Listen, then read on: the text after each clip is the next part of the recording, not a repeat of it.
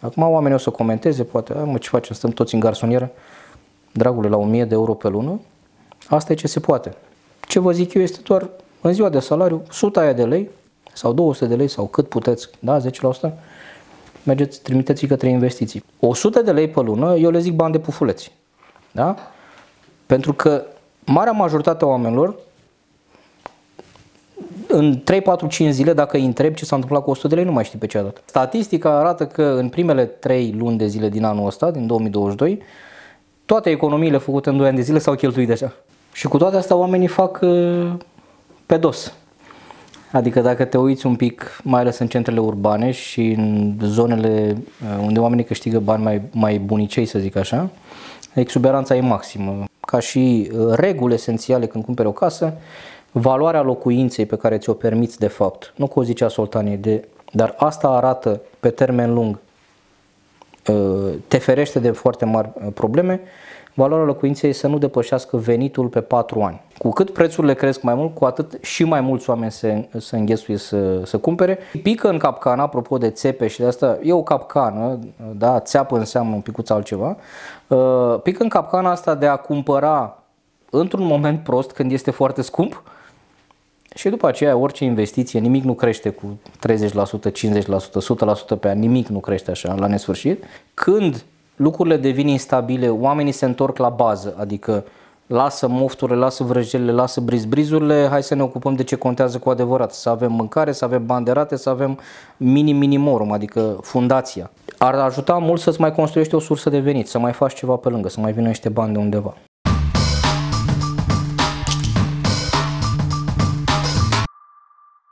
Pare bine că ne întâlnim din nou la podcastul meu. Dacă ați pierdut uh, celelalte ediții, le găsiți uh, acolo în descriere și puteți să-mi dați și un subscribe ca să ne întâlnim la edițiile viitoare. Astăzi uh, avem un subiect destul de delicat, atât pentru femei cât și pentru bărbați. O să vorbim despre bani.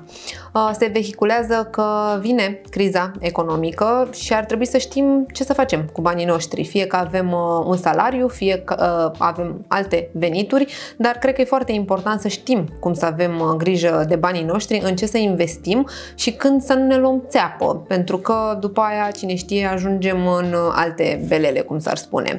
Uh, trainer în educație financiară, Adriana Soltanie, este alături de mine și vom avea așa o discuție pe limba tuturor și ne va spune unde greșim, ce facem bine și de ce nu, poate ne dă ponturi astfel încât să trecem de această criză financiară dacă, desigur, va veni peste noi.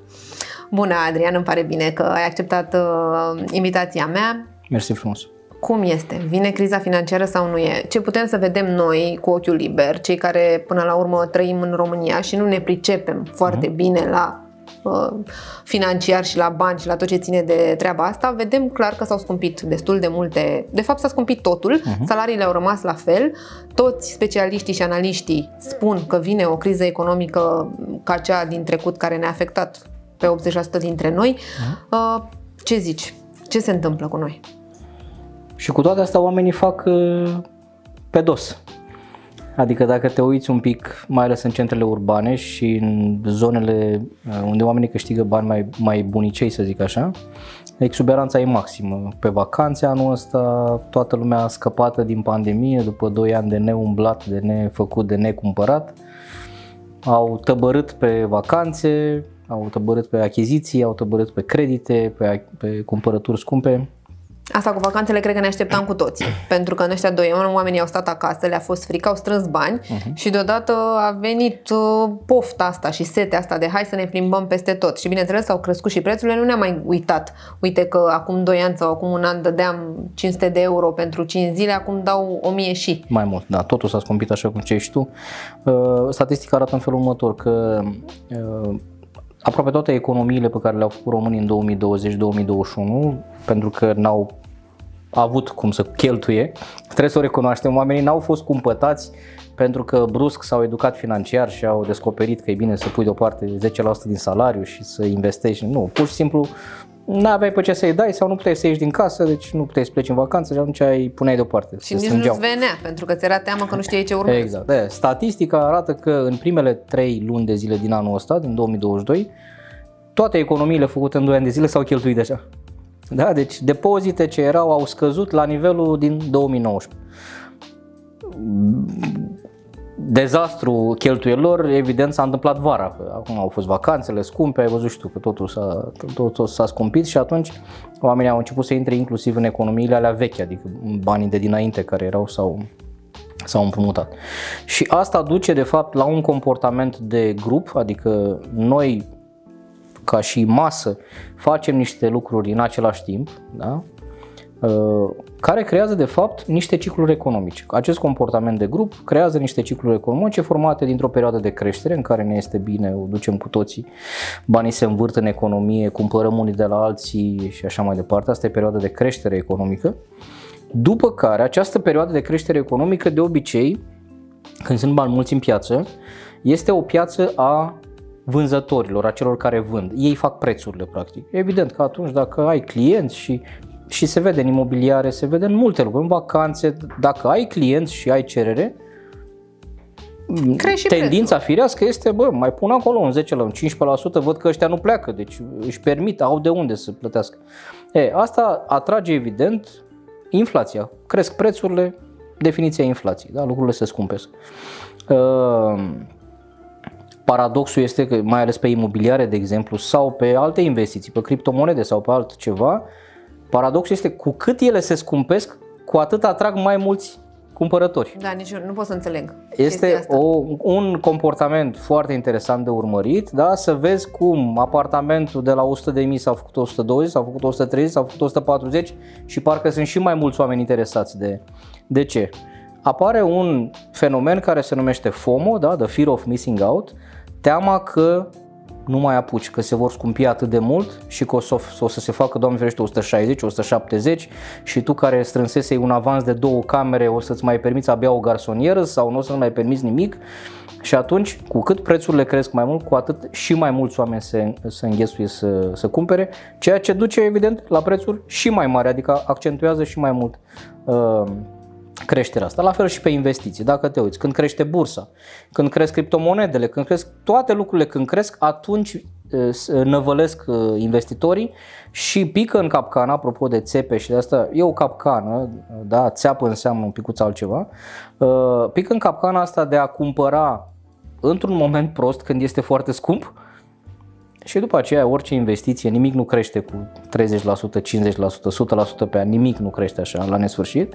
După aceea apare corecția, încep să iasă adevărații investitori, adevărații jucători, cei care au și resurse și experiență și informații și așa mai departe, ăia ies pe vârf de piață, după care micii gușteri, cum le zic eu, da? micii păcălici care voreau și ei să, să urce în trenulețul ăsta, să, să profite puțin, uh, aceștia sunt cei mai, cei mai loviți de soartă, cumpără scump, vând ieftin și de obicei sunt în uh, tabăra pierzătorilor. Deci e bine să așteptăm, dacă vedem că prețul apartamentelor, de exemplu, a crescut foarte tare, să nu investim chiar dacă nu avem niște bani pe care oricum nu-i avem, să așteptăm că poate la anul sau peste 2 ani uh, scad? Este foarte greu de spus, uh, Andreea nu cumpăra anul ăsta, că anul viitor pe vremea asta sau, nu știu, miercuri pe la 12 o să scadă prețul în imobiliare. Economia nu funcționează așa. Da? Sunt o mulțime de factori care uh, apar uh, externi, interni, guvernul iau niște decizii, americanii iau niște decizii, chinezii fac ceva, adică e un cocktail foarte interesant și lucrurile nu se întâmplă chiar atât. Dar ce trebuie să înțelegem noi este natura asta ciclică a economiei, faptul că ea crește și după aceea scade. Da. Acum suntem pe trend crescător, da? După părerea mea, suntem, uh, dacă aș putea să desenez cumva, trebuie să înțelegem o, o buclă, să zic așa, care are 5 etape. Da? O etapă inițială de creștere, care vine de obicei după o scădere. Ce se întâmplă? Hai să luăm hmm, criza din 2009-2010. Da? Bun. Deci avem o perioadă, ne-a lovit criza, oamenii se dezmeticesc. Când lucrurile devin instabile, oamenii se întorc la bază, adică lasă mofturile, lasă vrăjelile, lasă brizbrizurile, hai să ne ocupăm de ce contează cu adevărat, să avem mâncare, să avem bani de rate, să avem minim minimorum, adică fundația. Da? E, când o persoană se organizează, începe ușor, ușor, tăind uh, chestiile nenecesare, încep să-i rămână niște bănuți. Da? Când încep să-ți rămână niște bani o lună, două, trei, zici, bă, am un pic de disponibil acum, hai totuși să scot nevasta la un suc, hai să duc copilul într-o tabără, hai să-i mai iau o pereche de Adidas, da?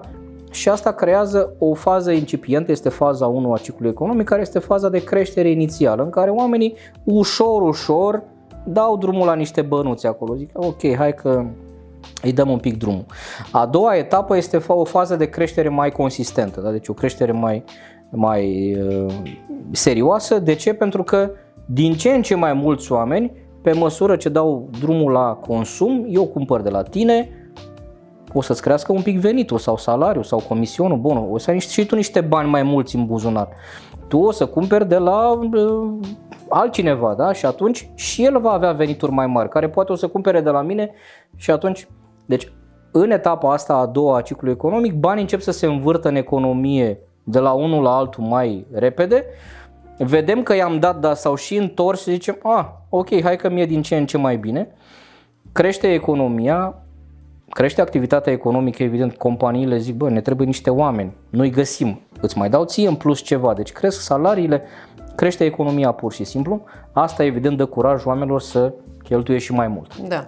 Și intrăm în etapa a treia a ciclului economic, care este vârful. Vârful de obicei este uh, caracterizat de un pic irațional, adică în etapa asta a treia, care e chiar în vârful ciclului, aici prețurile imobiliarilor cresc cu 20-30% pe an și nu înțelegi ce se întâmplă. Deci, stai bă un pic, că apartamentul ăsta era anul trecut era 100 de mii, acum e 150. Da, în etapa asta, oamenii capătă atât de mult curaj încât încep să se arunce la credite și la achiziții mari. Cu alte cuvinte, dacă mi-a fost bine 2, 3, 4, 5 ani, mi-am mai pus un pic la salariu, văd că nu s-a întâmplat nimic, veștile sunt bune, totul a fost ok, da? Cei din jurul meu o duc ok, nu și-a pierdut nimeni jobul, n-am auzit de vreo unul să-i fi dat firma faliment, adică știrile proaste dispar, de obicei sunt multe vești bune. Bitcoin a crescut, imobiliarele a crescut, aur a crescut, toate. Deci este o perioadă în care e multă veselie și mult, uh, mult optimism din asta. Deci prins curaj. Prins curaj și atunci prins curaj la niște achiziții mari. Și și tu mașina, te gândești și tu la o investiție imobiliară sau la o achiziție, vrei să te muți la garsonieră la două camere, pleci de acasă, da, de la părinți, te muți și tu la casa ta, a mai apărut poate un copilaj, treci la trei camere, la patru, vrei casă pe pământ, că vorba aia, acolo este, da? acolo este, da, coroana, da, de, de ultimate uh, visul, da, final al lucrului, vrea să stea la casă pe pământ cu gazon. Uh, și atunci oamenii fac achiziții din astea mari care implică de cele mai multe ori credit. E, ce se întâmplă de fapt? Se întâmplă de fapt că un om care are, se uită în buzunar și are 4-5 mii de euro caută în piață mașini de 20-25 de mii de euro. Că zice, bă, am avansul și fac un credit și mi-au ceva practic de 5 ori mai scump decât ce are în buzunar. Și țin minte că mi-ai zis data trecută când am avut noi discuția că noi trebuie să ne luăm o mașină maxim 6 maxim 6 venituri salarii. lunare, maxim 6 Da. salarii. Deci dacă Asta e valoarea câștig mașinii. 1000 de euro, Maxim o mașină îmi de iau 6.000 de 6.000. euro. Asta ca să pot să mi-o permit să nu mă înglodez în datorii, da? Să nu te înglozezi în datorii, să nu reprezinte prea mult din averea ta, fiindcă mașina prin natura ei se ieftinește în timp, adică se Bine, devalorizează. oricum investești în, adică investești, Așa. ai nevoie de revizie, ai nevoie de multe, na.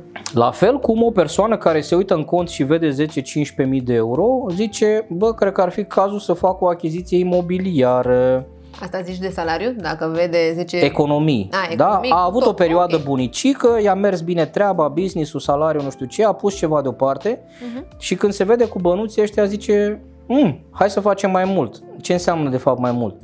Uh, ai 10.000 în cont, tu te uiți la apartamente de 70.000 sau de 80.000, adică iarăși datorită creditului, în etapa asta, oamenii cheltuie mult mai mult decât își permit de realitate. Ce face asta? Duce prețurile și mai sus. Și atunci asta e perioada de boom, este perioada de creștere exponențială în care lucrurile se scumpesc pur și simplu. E, f- în contextul ăsta, vânzătorii zic, mai pune și noi acolo un 10-15% la marfă, că văd că, uite, oamenii ăștia au de unde. Am cerere, da? Au de unde, da? Așa. Însă, prețurile când încep să crească, asta înseamnă inflație, apar niște forțe pe care trebuie să le înțelegem și să le, le cunoaștem, respectiv intervenția băncilor centrale. Adică, orice om trebuie să știe că misiunea numărul 1 a Băncii Naționale a României este stabilitatea prețurilor. da? stabilitatea economiei, adică lupta cu inflație. Targetul BNR-ului este o inflație de 2%. În momentul în care ea ajunge la 8, 10, 12, 15%, BNR-ul intervine. Iar metoda prin care intervine o bancă este creștem dobânzile. Da. După cum se vede, acum un an și ceva dobânzile erau mult mai mici, erau 1 și ceva la sută, acum au ajuns la 3 și ceva 4 la sută, o să mai crească o perioadă. Ce înseamnă asta de fapt? Că unul se gândește, băi, și dacă crește Isărescu dobânzile, ce mă interesează pe mine? Păi, efectul este următorul. Cei care aveau rate de 1500 de lei la apartament acum au 2000 sau 2200 sau 2500 de lei. Roborul a crescut într-un an de zile a crescut de la 1 și ceva la 8 și ceva ceea ce înseamnă pentru mulți dublarea ratei. Deci omul avea o rată de 1300, acum are 2500. Ce înseamnă asta de fapt? Dispare disponibilul de bani, adică tu trebuie să scoți de undeva da, 800, 1000, 1500 de lei în plus care se duc doar pe rată. Sau nu mai faci altceva, ce nu mai plece Automat vacanță, nu mai faci altceva, faci că nimic. ți-au dispărut niște bănuți. Ea înmulțește 1000 de lei pe lună în plus la rată, cu 12 înseamnă 120 de milioane pe an pe care nu îi mai ai.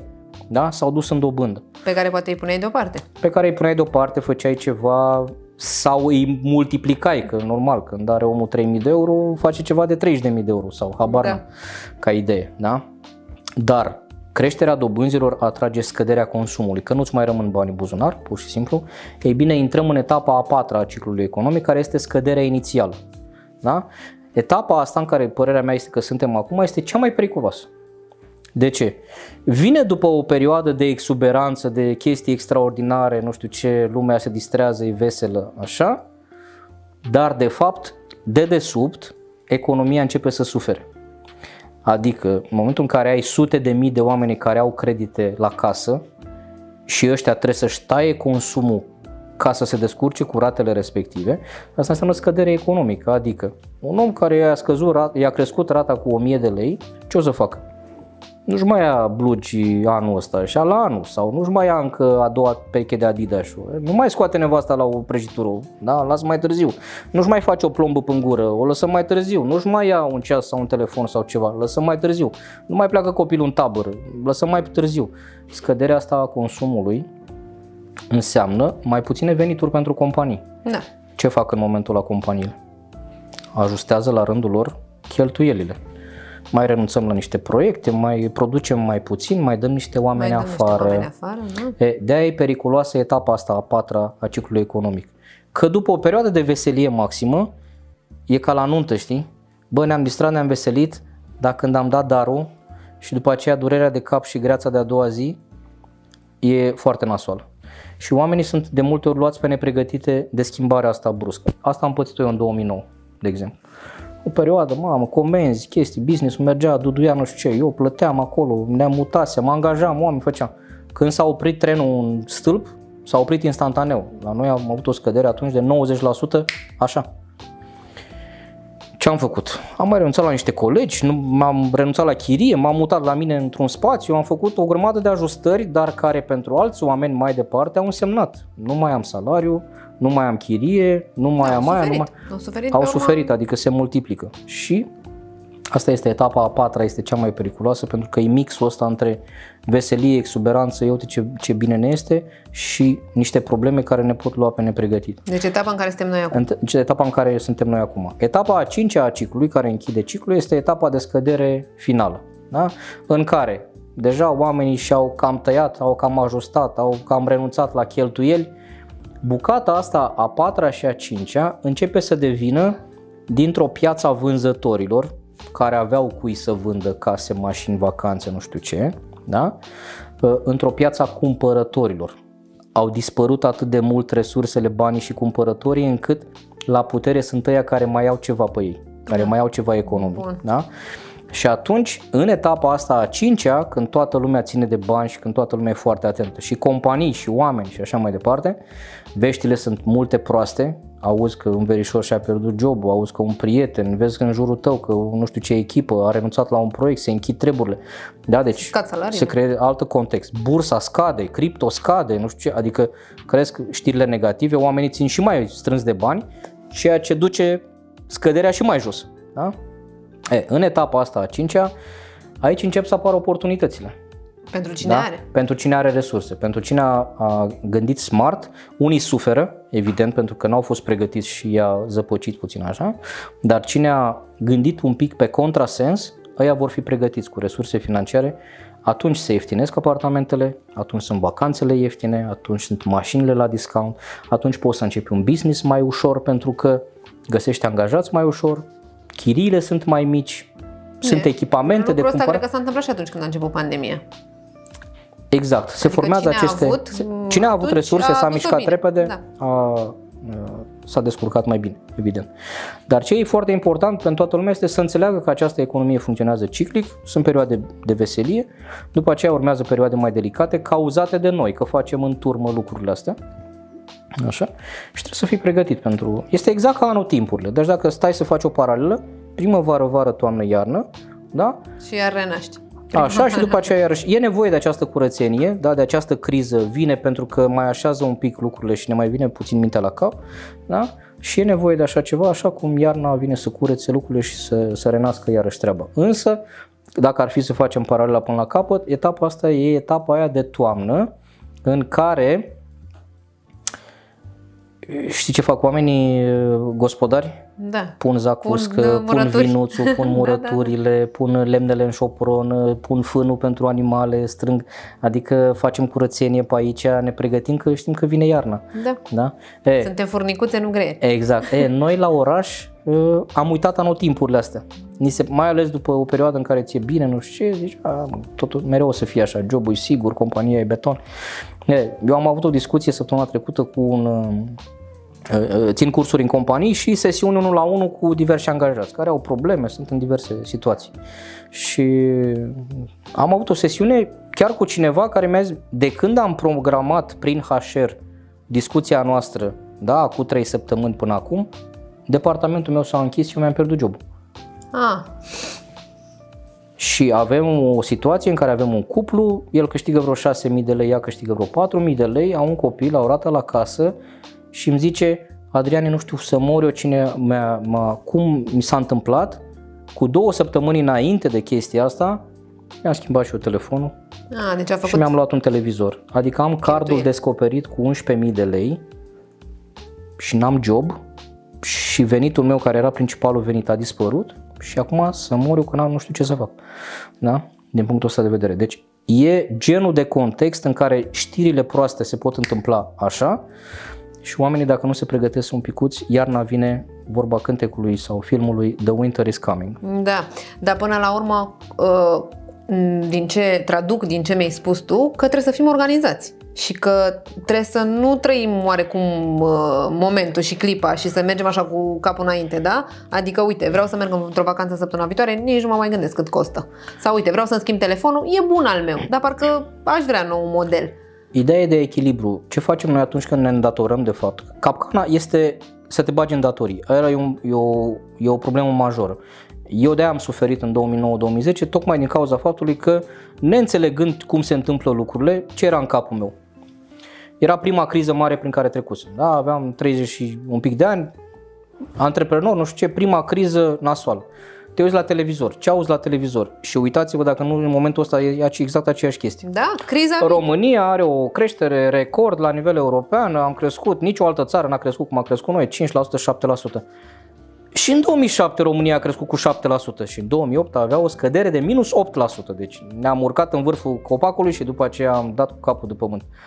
Uh, Politicienii zic suntem tigrul Europei, suntem extraordinari, deci nu, criza. În timp ce te uiți în alte țări și vezi, britanicii se pregătesc uh, pentru uh, fac rezerve de curent, de habar n-am, nu Da, știu. se gândesc nemții cum să se facă la gândesc, noapte, la nemții se iarnă. gândesc că se spală doar de la brâu în sus. Da, chestii de genul ăsta. Și te uiți în România, nu prea înțelegi. De aia e o perioadă periculoasă, știi? Că sunt știri din astea, ba bune, ba pozitive și omul zice, a mă, că o să fie bine, da? nu o să fie chiar, dracu, chiar așa de negru. Deci dacă cheltuim din banii pe care i-am strâns, ar fi ok. Nu e bine să ne facem Nu e datorii. bine să te îndatorezi. De ce? Pentru că atunci când faci un credit pentru o mașină, pentru o casă, de fapt tu ce faci? Consumi o parte din banii tăi viitori. Deci dacă eu să zic mi-aș face un leasing la o mașină astăzi, aș începe să plătesc niște rate, 4-500 de euro pe lună, Da. care ce reprezintă de fapt? Astăzi cheltui niște bani din, Din salariile viitor. mele viitoare.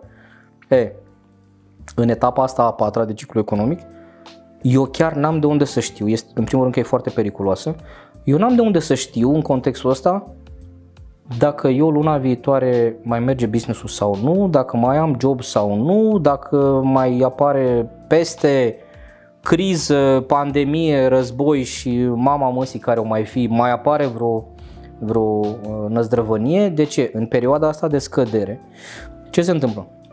Când banii se învârt în economie și toată lumea are de lucru, eu cumpăr de la tine, tu cumperi nu știu ce, ne distrăm împreună, companiile și oamenii care au probleme se descurcă. De ce? Că le vin bani în continuare și reușesc să panseze, au cash flow, se învârt bănuții acolo. E, când banii dispar din economie, au crescut dobânzile, ți-a tăiat banca linia de credit, da? adică încep să se taie sursele de bănuți, e, Warren Buffett are o vorbă faină, zice când scade economia sau când scade marea, atunci se vede cine făcea baie în pielea goală. da, da? Pentru că atunci îi vezi pe aia care erau cu chiloții jos și săraci munceau pe datorie, construiau blocuri pe datorie, făceau chestii pe datorie. Când le dispar finanțele, atunci îi vezi că sunt, uh, da? Și atunci, în, în etapa asta, iarăși, mare atenție, dacă veți cumpăra imobiliare în blocuri neterminate, adică în proiecte care nu sunt gata, trebuie să fii atent cum sunt finanțate proiectele alea, dacă oamenii ăia, cei care dezvoltă, au o situație financiară ca lumea, dacă au rezerve financiare sau dacă doar construiesc pe banii de la, de la cumpărătorii da, noi. cum se face. Așa, adică, cum se face de obicei. Da, Omul, dezvoltatorul are terenul. Avansul, da, și fac din banii tăi. Exact, fac cu banii tăi. Că dacă dispar cumpărătorii noi, omul nu mai are cu ce să mai construiască și atunci te trezești că tu ai dat avans la ceva ce nu va fi gata ani de zile.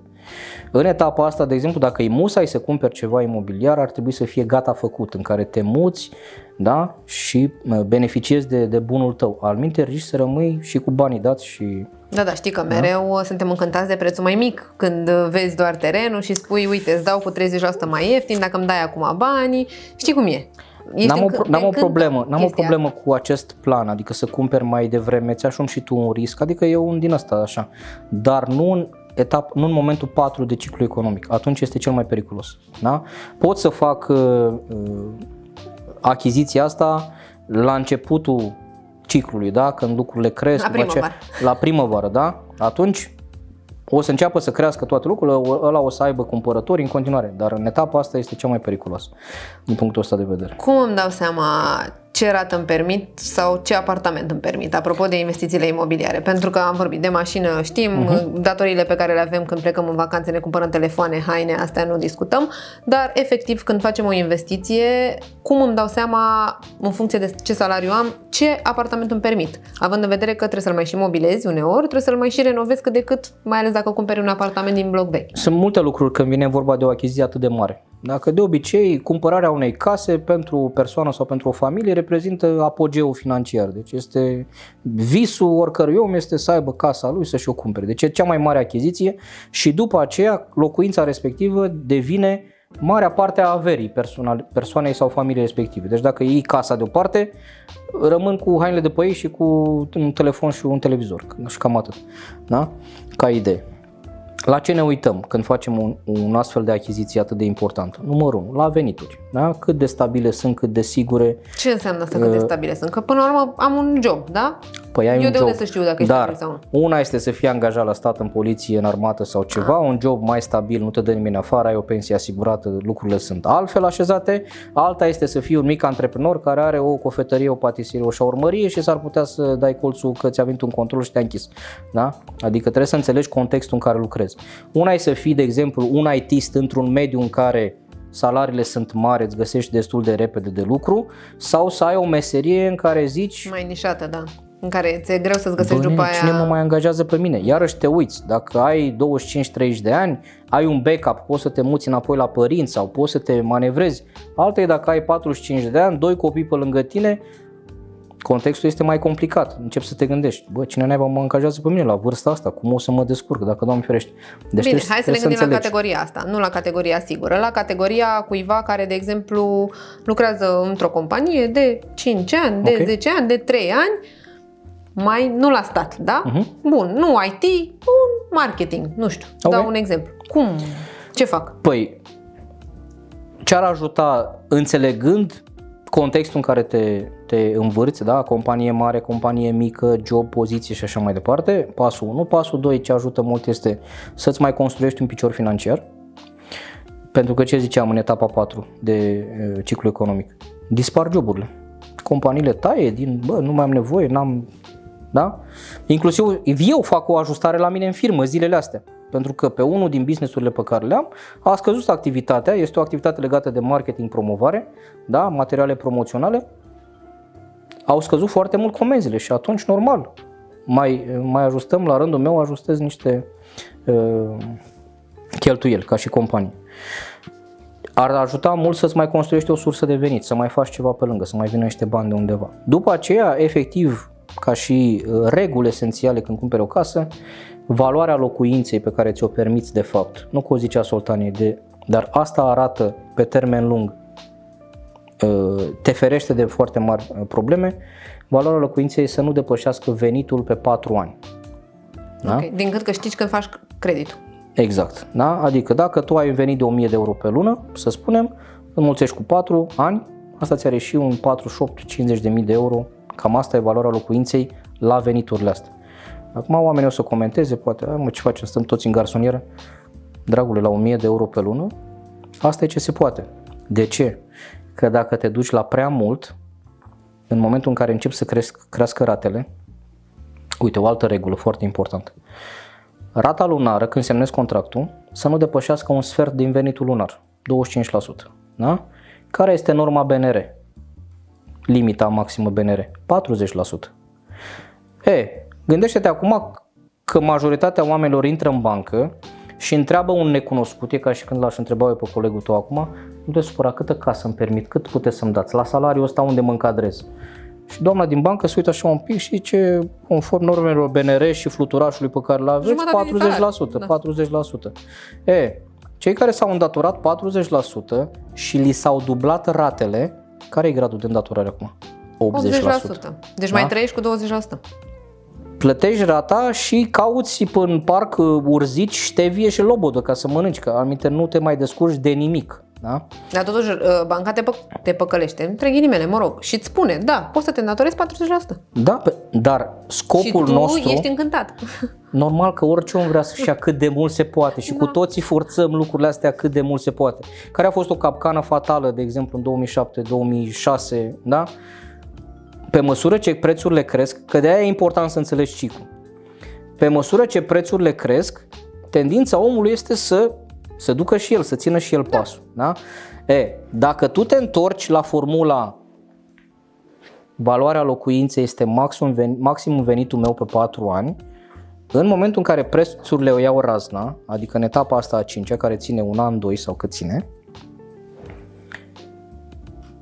teoretic salariul tău nu crește cu 20, 25, 30% asta cât crește, cât asta, crește apartamentul. Asta vreau să întreb, dar cred că ne gândim totuși că noi a 4 ani ne mai crește și nou salariul cu 10, mai 20, crește, 30. Dar nu la nivelul ăsta, nu, da. da, pe an, așa cum cresc. E, și dacă tu respecti totuși formula asta, o să fii protejat de a te duce după cum se duce prețul. Da? Asta e tendința. Capcana de care ziceam în 2006-2007 era următoarea. Prețurile creșteau, oamenii găseau soluții căutau soluții. Care erau o soluție foarte des uh, întâlnită. Din fericire acum nu prea. Uh, te duceai la șef și îi spuneai, boss, mărește și mie pe cartea de muncă șase luni ca de zile, dublează-mi și mie salariul ca să-mi iau credit, după aceea dăm înapoi și ne descurcăm noi. Se întâmplă asta așa? În mod evident, și mai ține minte o chestie. În 2007 știi cât era uh, rata de îndatorare maximă recomandată de BNR? 70%. Oho. Pentru credite ipotecare puteai să iei până la 70% din venituri. Dacă și veniturile alea erau false, că erau dublate sau erau deci mânărite, erai, erai din start, te duceai cu, cu, cu gâtul în laț uh, foarte periculos. Da? Ceea ce s-a și întâmplat cu sute de mii de români, franci elvețieni, adică oamenii caută tot felul de soluții ca să ia mai mult, mai mult, mai mult. Dacă încalci aceste reguli, maxim venitul pe 4 ani, rata să nu-ți depășească 25%. Bă, chiar dacă se dublează, ajunge la 50% din venituri. Tot respiri, te mai tot te mai da. descurci, da? uh, avansul măcar să fie 20% strâns de tine, adică nu făcut și asta cu un credit sau luat de pe la socrii, neamuri, mai știu eu de pe unde. Deci da? atât să strângem? Astea, 20% este avansul minim recomandat, strâns de tine este absolut esențial. Da? După aceea, când semnezi un, un contract, o achiziție, să te asiguri că notarul este al tău, nu este al vânzătorului, cum se întâmplă de multe ori la apartamentele noi. Te duci la un dezvoltator, îți place ceva de acolo și de obicei recomandarea este avem noi un notar care are deja toate actele pregătite, mergem și semnăm. În realitate acela este notarul vânzătorului și veți regăsi în clauzele contractului o mulțime de clauze care sunt pentru protecția lui, a vânzătorului. Și în de loc să obicei fie nu citim. De obicei nu citim, repede, fugă, nici nu înțelegem, că nu avem educație juridică să știi tu ce înseamnă tot pe acolo. Eu citesc niște antecontracte din astea din când în când, mi le trimit uh, cursanții și clienții, te doare capul ce poți să găsești acolo, niște abuzuri majore în defavoarea cumpărătorului, menite să-l protejeze pe vânzător, da? că întârzie, că nu-i bine, că sunt de- defecțiuni, că sunt o grămadă de probleme, toate sunt protejate acolo, în condițiile în care, știi care e paradoxul? Notarul este plătit de cumpărător. Da, asta voiam să spun. Da? Totuși notarul Adică e... eu plătesc da, pe cineva exact, și ca tot să mă eu mi-au protejeze. dat. Da. Da? Și de fapt, contractul așa cum este făcut este în favoarea uh, celuilalt. Și acolo este o, iarăși o capcană de care neapărat trebuie să vă feriți. Notarul este plătit de cumpărător și ar trebui să fie ales de cumpărător. Deci asta încă o chestie importantă, Da. O chestie să, absolut să, esențială. să dăm cuiva să citească contractul în caz că nu ne pricem sau pur și simplu să venim noi cu notarul nostru. Mhm. Un să notar găsim al noi. nostru, un avocat, un avocat costă 100 de euro. Mhm. Să-ți citească un contract și zică, prietene, aici, să-ți subliniezi efectiv cu pixul, cu markerul. Dacă o faci pe asta, pățești asta, dacă o faci pe asta, pățești asta, ai dreptul ăsta, ai obligația asta. Lucru, oamenii nu știu lucrurile astea. Nici eu nu le știu, adică n-am, nu sunt avocat. Dar eu am avocatul meu și am notarul meu.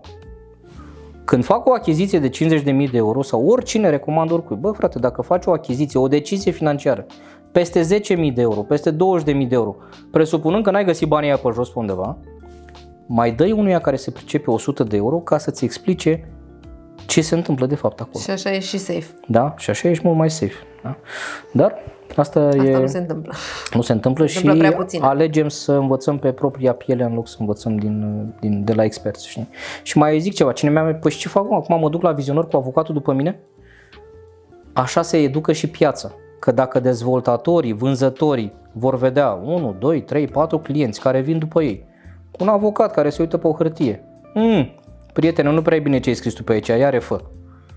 Se vor adapta și ei. Uite o altă recomandare trebuie să mergi la o vizionar când ești gata pregătit. Ți-a plăcut un apartament, zici, mamă, e mișto, îmi place pe aici. Oamenii de obicei ce fac? Sunt încântați de lucrurile aparente, dar pe care tu poți să le schimbi. De exemplu, parchetul ăsta este extraordinar. Știi care e faza? Poți să-l schimbi într-o săptămână. Caloriferul ăla, poți să-l schimbi imediat. Televizorul, mobila, orice, poți să schimbi. Zgurăveala, culoare, nu-mi plac. Evident. Da? Le modific imediat. Ce nu poți să schimbi este structura blocului, nimeni nu verifică chestia asta.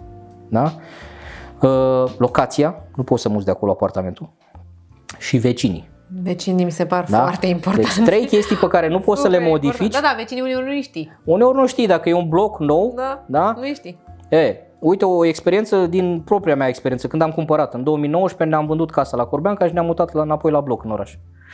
Am văzut, în două luni de zile am văzut aproape 70 de apartamente. Asta iarăși e o recomandare foarte călduroasă. Dacă faceți genul ăsta de achiziție, mergeți fraților la vizionări. Normal, nu te Da? oprești la primul. Nu se poate după prima să fii încântat, uh, Gresie din Spania, ușă din Germania, gata, ăsta este. Nu, Bine, trebuie poate să vezi. ești încântat, dar te întorci după aia la el. După N-ai ce de mai unde vezi să și altele. știi, adică trebuie să cunoști piața, trebuie să vezi mai multe lucruri. Și eu am văzut sute de, am fost la sute de vizionări, că imobiliarele sunt o pasiune de-a mea, mă duc la vizionări cum se duc alți oameni la film, în parc, eu mă duc să fac o, să văd o casă. Și am văzut pentru apartamentul ăsta, uh, până să cumpărăm pe ăsta, aproape 70 de apartamente. Erau zile când vedeam 4-5 apartamente pe zi. Și când am hotărât, bă, ne place, i-am zis agentului, acum vrem să cunoaștem vecinul de sus, de jos, stânga-dreapta agentul imobiliar, care teoretic asta face în fiecare ce, dar ca ce chestii, că n-am mai auzit de așa ceva. Și zic, prietene, pe tine te-am văzut doar acum o jumătate de oră, o să-ți iei comisionul, o să pleci la măta acasă. Da? Dar eu rămân cu oamenii ăștia toată viața. Da? Vecinul de sus, vreau să știu, paște calul în sufragerie, își bate nevasta după ceas, da, are 15 copii mici, nu știu, da? Vreau să știu ce se întâmplă aici. Și, într-adevăr, am, am reușit să mă întâlnesc cu cei care erau pe acasă și asta, să cunosc și eu un pic contextul acolo, să văd administratorul de scară, să văd... Asta atunci când te-ai hotărât că vrei Când m-am apartamentul hotărât că ăla. vreau, dar asta îți spune multe despre mediul în care vei trăi după aceea și pe care tu nu mai poți să-l schimbi după aia. Asta e clar. Da? Pentru că noi oricum când ne cumpărăm un apartament, ne cumpărăm pentru toată viața. Nu ne Exact. gândim, hai să-l vindem peste 3 Exact. ani, hai să... Și atunci, notarul să fie al tău sau să consulți un avocat să te sfătuiască bine, caută un structurist și există pe internet o asociație a inginerilor structuriști din România și găsești acolo, în orașul tău, ești din București, găsești structuriștii din București, ești din Cluj, găsești structuriști din Cluj și te duci cu un structurist, dacă chiar ți-a plăcut proiectul sau apartamentul respectiv, ca să se uite la ceva la care îți garantez că habar nu ai. Structura este o chestie ascunsă, nu poți să știi tu. Dacă ți arată niște planuri, 99% dintre oameni se uită acolo ce înseamnă punctulețele astea pe aici, nu știi, habar nu știm, da? Un structurist experimentat poate să se pună întrebările astea, cât e placa, fundația, ce fier beton ați folosit și așa mai departe. Da, și ne Lucru- ajută lucru pe foarte important. termen lung. La fel, te costă 200 de lei să vin, 200-300 de lei, este un, este un fleac. La o achiziție de genul ăsta Nu te mai uiți la 200 de lei, asta Da. e clar. și atunci, în felul ăsta se educă. Se educă și vânzătorii.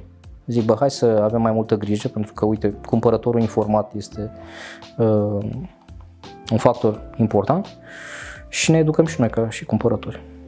În ce merită să investim acum? Am niște bani, de exemplu, și vreau să investez mâine în ceva. În primul rând, ce trebuie să-ți faci, având în vedere contextul ăsta, este să ai fondul de urgență și fondul de siguranță. Da, asta puteți vedea la fel pe blogul meu și pe canalul de YouTube. Uh, Cealaltă discuție pe care am avut-o cu Adrian, unde am văzut cum să strângem bani, cum să strângem bani cu cap și ce bani ar trebui să avem uh, în niște pliculețe acasă. O să găsiți uh, linkul pe blogul meu. Sistemul de plicuri, da. Bun Uh, sistem, l-am folosit. Da, și eu îl folosesc de 9 ani, este Da, să știi că mai, excepțional. mai degrabă folosesc pontul cu uh, valuta. Și ăla este, funcționează E mai foarte bun. bine. Revenind, ce trebuie să facem în perioada Da, asta? deci în afară de fondul să de punem urgență deoparte fondul și- de urgență 2000 de lei cash în casă, într-un plic sigilat, fondul de siguranță cel puțin 3 luni de zile, mâncare, rate, utilități, cheltuielile esențiale, da? Fără restaurante, coafuri sau mai știu eu ce alte chestii. Deci chestiile esențiale, lei, le înmulțești cu 3 și ăla e fondul tău de siguranță. Bugetul de la mine de pe site pe care poți să-l descarci oricine gratis îți calculează automat, îți ia cât dai pe mâncare, cât dai pe, ți le Da, mulțește e un cu Excel 3 și ți le foarte arată. bun. Chiar e bun și o să vă ajute. Așa. Și Deci ăla după e ce dăm la o parte fondul de și urgență, fondul de siguranță. ne mai rămân bani? După aceea, uh, o investiție interesantă în perioada asta este bursa. Însă, atenție, în perioadele de scădere economică, bursa scade. Marea majoritate a oamenilor cumpără când bursa crește, că sunt atrași de creșterile astea. Bursa, cripto, Ce vorbeam la imobiliarele, început, da. toată lumea se duce când, când crește. Investitorul adevărat cumpără când lucrurile scad, când lucrurile se ieftinesc. Da? Și atunci, în momentul ăsta, este o oportunitate foarte bună să intri pe bursă cu următoarele amendamente. Numărul 1. Nu intrăm niciodată cu bani grămadă. Da? Să presupunem că ți-ai făcut niște economii, ai avut o perioadă sau ai vândut ceva, ai 10.000 de euro, zici, mâncați aș, acum mai bag. Pe toți. Nu. Nu, pentru că în contextul ăsta care este vulnerabil, fragil, nu știm dacă nu urmează o scădere și mai mare. Și atunci intrăm, împărțim suma respectivă, cât o fi, 5.000 de euro, mi-o împart în 10 felii și intru pe parcursul a 10 luni cu câte 500 de euro pe lună în mod constant. Această metodă se numește DCA sau DCA sau Dollar Cost Averaging. Eu îi spun pic cu pic. Da? Pe bursă nu se intră niciodată Buluc. cu bani grămadă. Feliem așa și intrăm pe termen lung. Metoda cea mai bună este pentru investitorul începător, să zic așa, fondurile mutuale, care se găsesc la orice bancă mare din România. Da? Există fonduri mutuale care investesc pe bursa românească, pe bursa din Statele Unite, pe bursa internațională, investesc în titluri de stat. Adică ai și grade de risc diferite, ai și expunere diferită, ai diversificare, fondurile mutuale sunt lichide, dacă îți trebuie banii ăia în 72 de ore, ți ai scos, da, să-ți rezolvi o treabă sau să faci vreo achiziție, adică au multe, multe beneficii și mai au un beneficiu foarte important, poți să le automatizezi. Adică tu poți să stabilești că din salariu îmi permis să pun deoparte 100 de lei sau 100 de euro, mi-am ales un fond mutual, mi-am automatizat în ziua de salariu pleacă 100 de lei, se duce în fondul ăla și la revedere. Mm-hmm. Și investiția se întâmplă lună de lună în mod automat. Deci bursa este, din punctul meu de vedere, o variantă excelentă în contextul ăsta și de fapt tot timpul. Da. Investiția pe bursă nu trebuie să fie ceva foarte complicat, cum văd oamenii pe la televizor, trebuie să-ți cumperi 15 monitoare, să urmărești da, Hong Kong, da, da. New York, Londra, Paris, nu știu ce, nu. Un fond mutual sau un ETF. Un ETF este o variantă mai bună de a investi, e un picuț mai, platforma e un pic mai complicată față de fondul mutual, dar E la fel un, un fond de investiții diversificat, comisioane foarte mici, este o alegere excepțională și așa cum îți plătești gazul și curentul în fiecare lună, așa poți să pui și acolo 100 de lei, 200 de lei. E un plan excelent, pe termen lung banii ăia se vor înmulți și vor produce extraordinar de bine. Mai vreau să te întreb ceva, o situație în care se regăsesc mulți tineri în ziua de astăzi.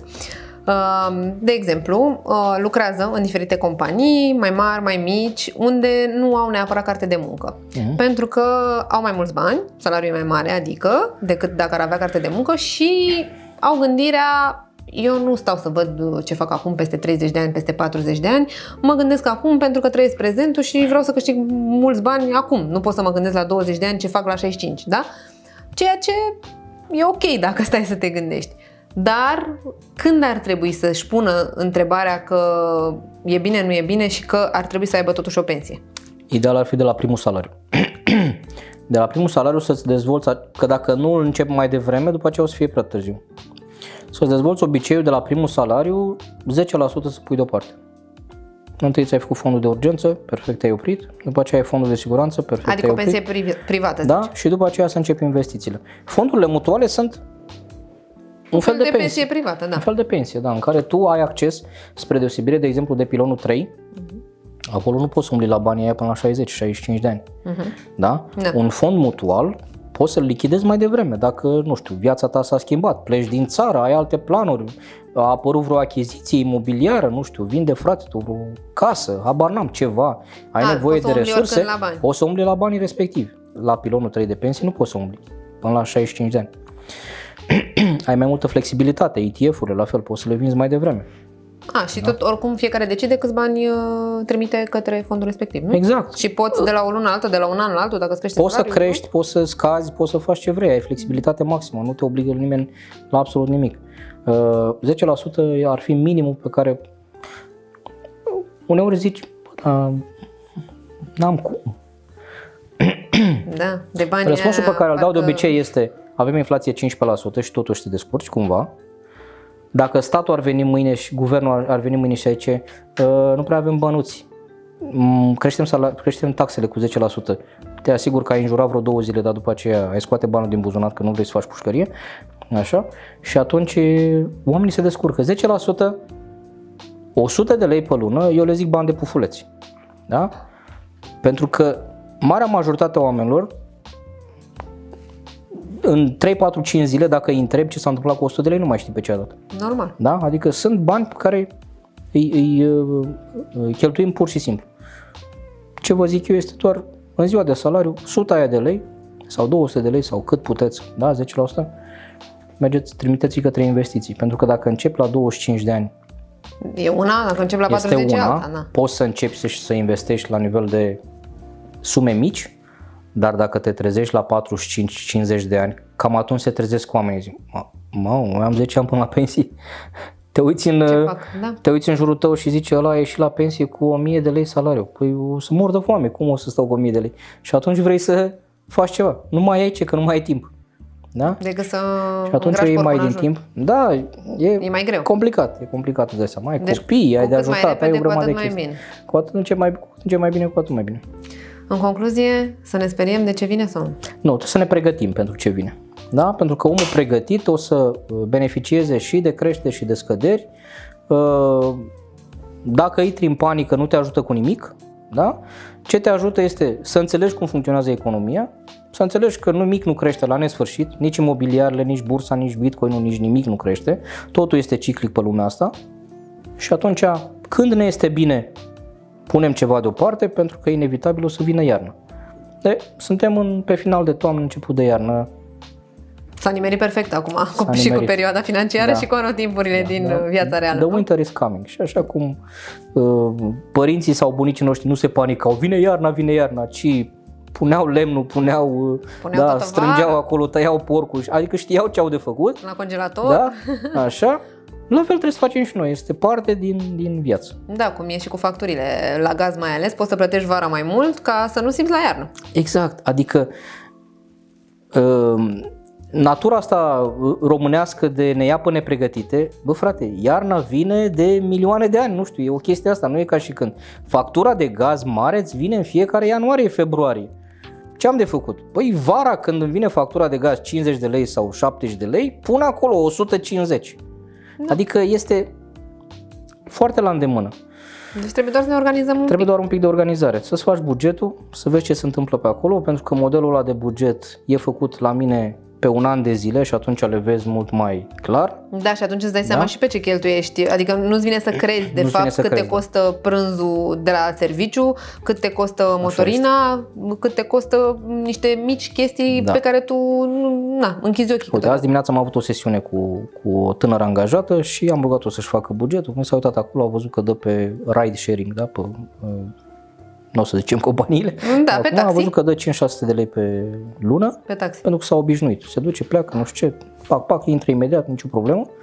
Când s-a văzut că asta înseamnă vreo 6-7 mii de lei pe an și când a făcut referință la salariul ei de 4 mii, a zis că vă zic că eu ianuarie și jumătate de februarie muncesc numai pentru Am merge cu taxiul? ca să mă deplasez de acolo, acolo, nu se poate așa ceva. Nu. Bine, surpriza asta o ai și când uh, constați câți bani cheltui cu mașina. Multe planuri se poate duce, da? Alternativa în cazul ei la venit de 4.000 de lei nu este să-ți cumperi mașini personală, că efectiv clar, nu mergi este, metro. aia este groapă financiară. Da? Sunt multe alternative, alternative, dar să-ți faci un buget te ajută să vezi lucrurile astea pe care le poți îmbunătăți. Da. Și să te pregătești pentru ce vine în față. Îți mulțumesc mult pentru discuția asta extrem de constructivă, cel puțin pentru mine, ca și cealaltă de data trecută. Sper că și pentru voi. Uh, Pe Adrian îl găsiți uh, pe tot internetul, și pe YouTube, și pe Facebook, cred că și pe Instagram, nu? Mai puțin, Mai pe, puțin pe Instagram, Instagram? eu Oh. creez conținut mai consistent, să zic așa. Live-urile mele au o oră, Da. ceea ce nu este întotdeauna pe, pe trend, să zic așa. Nu contează, vă zic eu, Da. că e chiar constructiv și mai ales pentru vremurile care ne așteaptă, chiar e bine să ascultăm uh, și partea asta financiară, nu numai celelalte la care ne-am tot uitat uh, anii ăștia despre uh, sănătate, despre război. Acum, hai să ne gândim și la partea asta financiară. Uh, Pe mine puteți vedea acolo în descriere unde mă găsiți pe tot uh, acest uh, internet. Uh, Puteți să-mi dați și un subscribe, să ne întâlnim și dățile viitoare. Așa că până săptămâna viitoare nu pot să zic decât să vă faceți așa un plan financiar și să aveți grijă de banii pe care îi câștigați în fiecare lună.